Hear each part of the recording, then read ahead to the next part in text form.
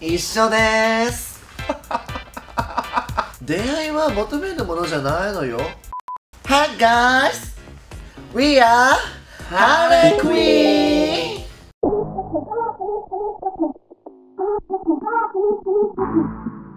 今回もね悩める子羊ちゃんたちからたくさんのお便りが来てるので読んでいきましょうレッスン1シーポンからお便り。こんな天気のいい日で何をしていいかなだって。私だったらとりあえずそうねなんでちょっと鼻声なの？あれあれ食べに行くか私だったらベーコンチーズエッグみたいなホットサンドとシャッター食べに行くかも。あそれをじゃああの公園に持って行ってピクニックだったりとかそうそうそそう。うそういうのをね二日酔いには欠かせないもの.レッスン try me, ho. 2日本刀小町好きな人に渡せなかったチョコレートが今ここにまだある。うん。捨てな？もうあの過去の人のものはね捨てるべき、捨てるべきよね、うんそう。速攻捨てるのよ。レッスン33人から1000円ほどの箱入りの義理チョコをもらってお返しに悩んでる。どんなホワイトデーのお返しがいいかな。そうね。もうホットサンドイッチよそうだね。あんなに美味しいものはない。腐ったチーズとね卵も腐ってたっけあそこのお店。多分腐ってたと思うあそこの店は。あそこのお店は卵も腐ってた、卵も腐ってたと思う。レッスン4鼻の下が臭いです。どうしたら臭くなくなりますか？知らんわよ。洗いなさいよそんなもの。鼻の下が臭くなることなんてある？うん。ちょっとあんた私の鼻の下嗅いでみてよ。臭いかどうか。あーチョコレートの匂いがする でも多分それは蓄膿症。蓄膿はちょっとなんかここに海が溜まって匂いを感じるらしいよ自分の中で。あそういうこと、うん。それは多分蓄膿です。病院に行ってくだ病さい。院行ってください。レッスン5夜中のスニッカーズがやめられない。一緒です。レッスン6大親友を好きになっちゃった。思い伝えるか迷ってます。あー伝えるハレー伝えるわね私は。あなたがそれを J にしたいなら伝えるわ私は。私は黙っちゃう。言わないタイプ？私言わないね。あれねそれ親友の関係性うん。を壊すのが怖いからってこと？怖いとかじゃない。壊したくないだけ。そんなビビりだと思ってなかったハーレーが。レッスン7 10年付き合っている彼女がいるんですがパートナーシップをするか悩んでいます。これからも一生寄り添い続ける相手だとは思うんですがごく一部の知り合いにしかカミングアウトしてないのでそんな中途半端でいいのかなと悩んでる次第です。どう思う？私は自分がやりたいならやるべきだと思う。自分が思うように生きればいいと思いますけどもあの周りにカミングアウトをしてるなりしないなりはもう関係なくもう自分が生きたいんだったら自分がやりたいんだったらもうやる。もうそれが私の人生。まあ後悔しなければいいんじゃないですかあとあとね。うん。なんかそのパートナーシップってすごくなんか素敵なものだとは思うんですけれどもまあそれを取ったからといって2人の関係性とかって別に変わらないことだとは思うしパートナーシップを取ったからどうとかこうとか別に多分あんまり変わらないと思うから自分たちが後悔しなければいいんじゃない？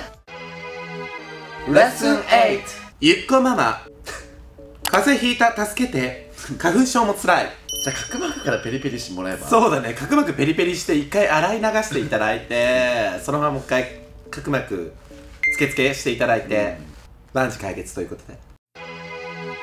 レッスン9黙ってればかっこいいのにって言われます。どうしたらホゲホゲが出ないようにできますか？黙れば？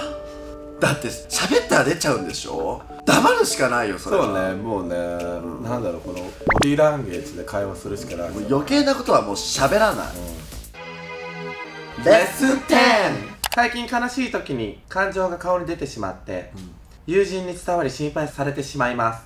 なんとかこれなんて読むのかしら。ごまかしたい。なんとかごまかしたいです。助けてください。じゃあサングラスとマスクする？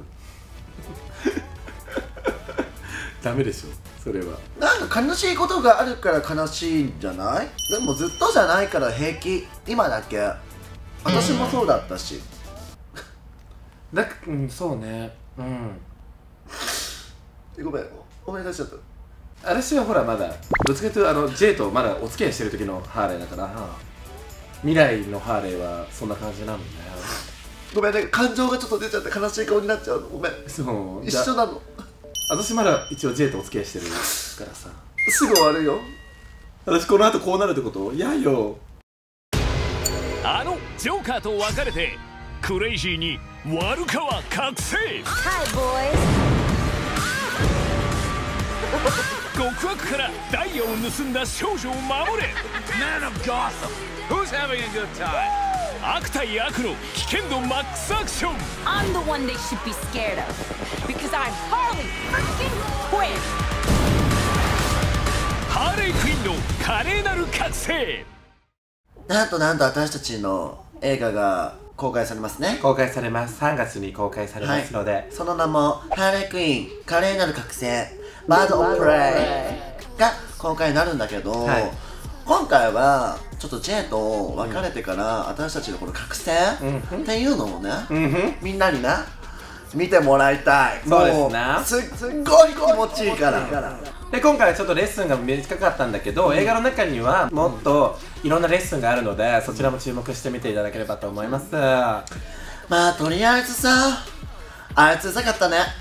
あいつはうざかったね。ね、でもさやっぱ私たちカレーだったね、ほん。となんかもう男には負けませんって感じ。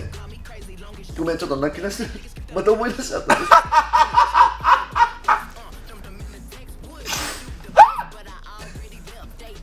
た 私まだ幸せなハーレーだから。ごめんね。なんか J 思い出しちゃったまた。皆さんぜひ見てください。バイ